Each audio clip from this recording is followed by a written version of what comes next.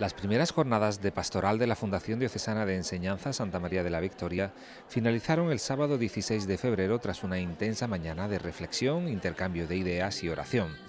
La jornada se inició con la ponencia del sacerdote Salvador Gil, doctor en teología dogmática y delegado de Infancia y Juventud y de Apostolado Seglar, que señaló algunos de los imperativos para una pastoral educativa, entre los que se encuentran conocer y vivir a Cristo en la Iglesia, contemplarlo y celebrarlo en la liturgia, anunciar a Cristo al mundo de hoy y presentar a Cristo como la plenitud y la respuesta.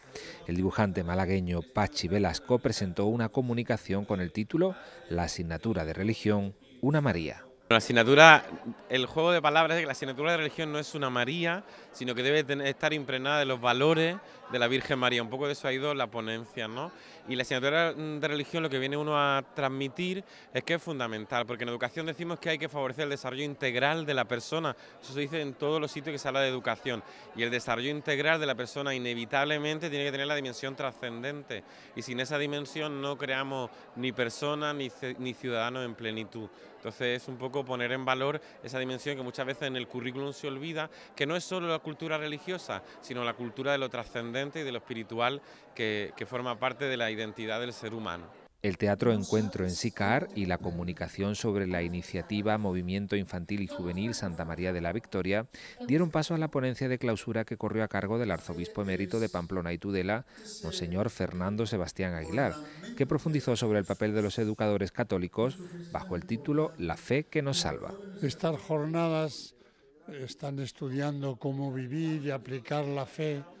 Yo lo que voy a hacer es mostrar el potencial educativo de la fe, como una buena educación católica tiene que apoyarse en la fe y encuentra en la fe una motivación y un estímulo para todos los objetivos que la educación católica tiene que desarrollar en las personas.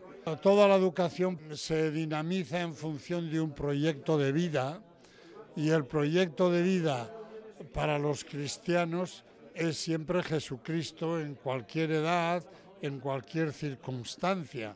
Por lo, por lo, tanto, en la persona concreta de Cristo encontramos una fuente de valores que no pueden ser más educativos. Las jornadas fueron clausuradas por el obispo de la diócesis, don Jesús Catalá, que valoraba así este evento. En primer lugar, yo resaltaría el ambiente que se ha creado, que es precioso, entre todos los participantes.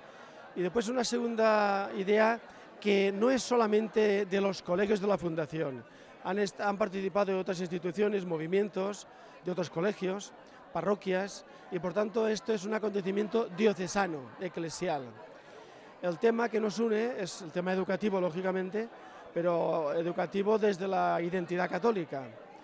Y mi valoración es altamente positiva por la participación y el ambiente, y de cara al futuro esto es una manera de inyectar ilusión, esperanza y también un poco de, potenciar revisando nuestro trabajo.